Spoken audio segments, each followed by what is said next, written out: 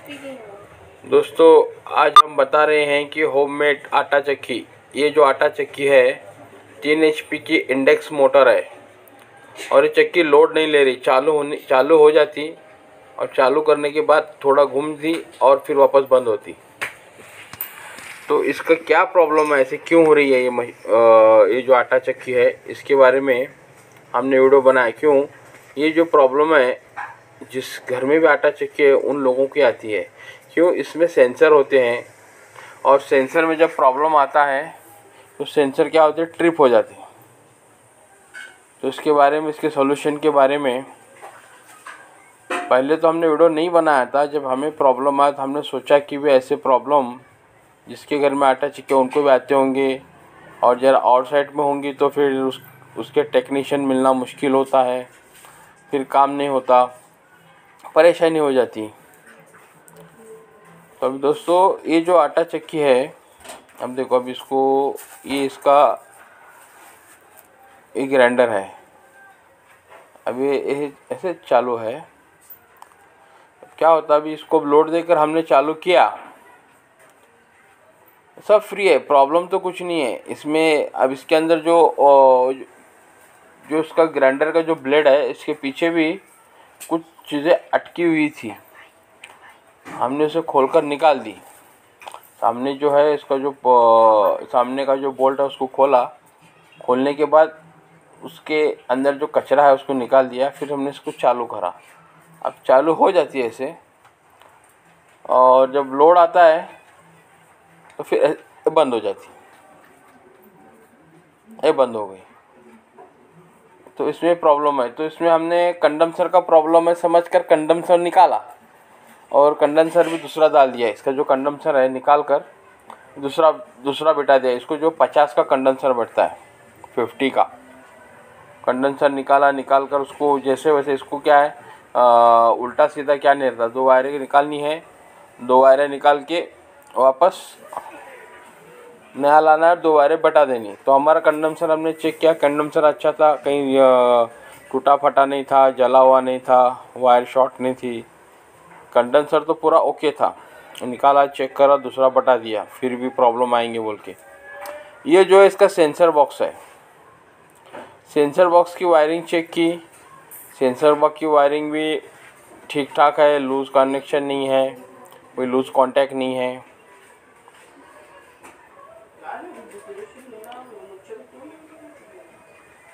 तो ये sensor box की वायरिंग जो है बॉक्स की चेक करी चेक करने के बाद उसको बाहर निकाला, निकाल कर उसको साफ़ सफ़ाई करके बिठा दिया।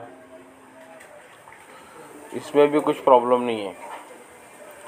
तो जो आटा चक्की होती है, आप एक एच की लो, दो एच की लो, तीन एच की लो तो जिसमें जितने ज़्यादा सेंसर है, वो चक्की में ज़्यादा प्रॉब्लम है। क्यों? ये जो सेंसर जो है साल, दो साल के बाद ख़राब हो जाते। ख़राब होने की वजह से फिर आटा चक्की, लोड नहीं लेना बार बार ट्रिप होना, थोड़ी घूमना, फिर बंद हो जाना, अभी चालू हो गई। अब लोड देने के बाद बंद हो जाती।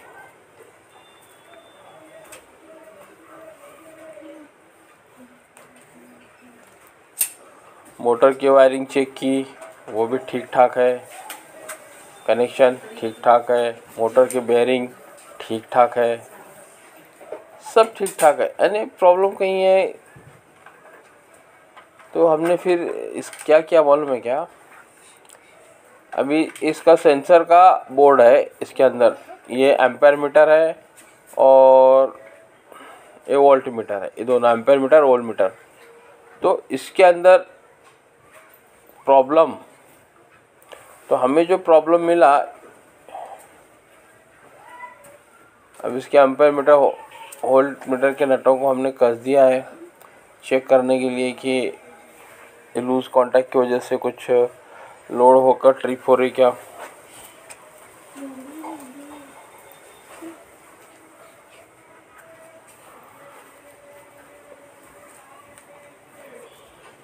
हमारे चैनल पे इलेक्ट्रॉनिक, इलेक्ट्रिक से जुड़े हुए वीडियो हम अपलोड करते हैं।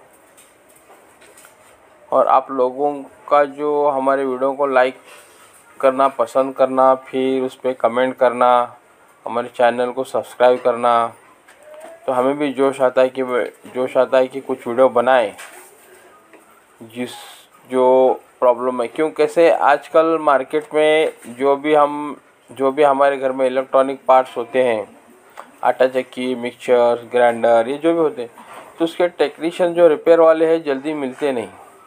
हाँ जो सिटी में रहते हैं, उनके लिए प्रॉब्लम नहीं है, पर जो सिटी के बाहर रहते हैं, उनके लिए बहुत बड़ी मुश्किल है। क्यों?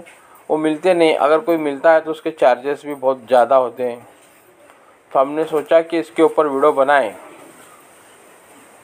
और डालें। छोटे छोटे प्रॉब्लम होते हैं। आप घर में थोड़ा भी नॉलेज होगा तो आप उसको बना सकते हैं। और आप कमेंट करेंगे हमारे को कि भाई हमारे में, हमारे पास ये चीज़ है इलेक्ट्रॉनिक और इसमें ये प्रॉब्लम है तो इसका सोल्यूशन कैसे करें तो उसके ऊपर हम वीडियो बना के ज़रूर डालेंगे। और कमेंट का जवाब भी देंगे।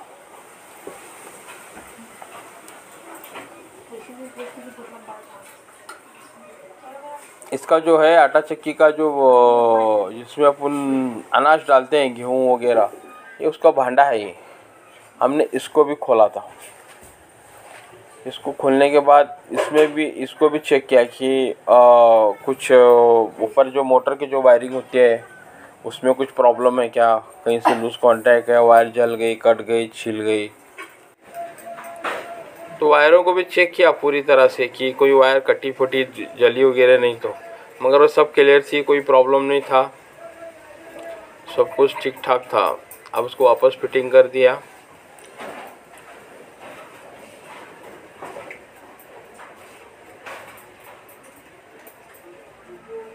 तो ये जो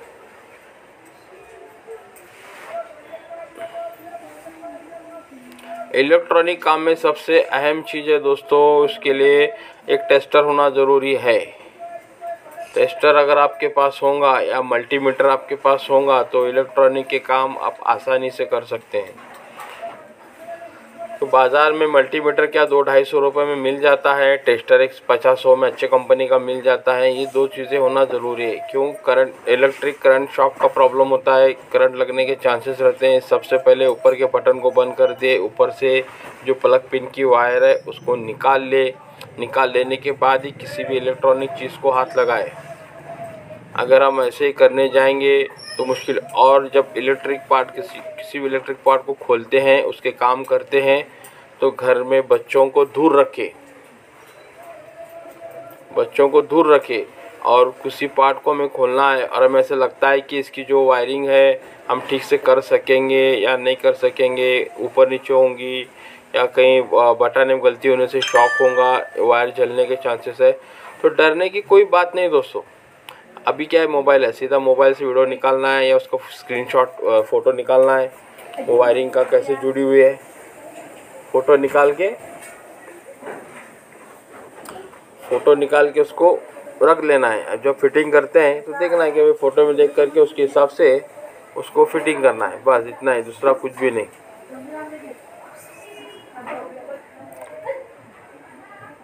तो हमें इस तरह से अगर हम करेंगे तो सब काम ठीक ठाक होंगे। अभी ग्राइंडर ब्लेड है, इसको हाँ ये इसको जो मिक्सचर ग्राइंडर है, जो जो अंदर का जो ग्राइंडर है आटे का, इसको रोज़ सुबह या दो दिन में एक बार से भी ना इसको साफ़ करना है। क्यों? इसके अंदर कुछ कचरा अटक जाता है या फिर जो, कुछ लोग ऐसे हैं, जो पिसने के लिए जो कस्टमर लाते हैं उनका अनाज, वो क्या करते हैं, उसके अंदर कुछ धागे वगैरह, बाल, कुछ ऐसी चीज़ें आ जाती गलती से। आने के बाद क्या होती है, वो ग्राइंडर में अटक जाती तो उसको पहले चेक करना है, साफ़ करके लेना है। जाली को साफ़ करना है। जाली को साफ़ करते रहेंगे तो ख़राब नहीं होती। टूटती नहीं।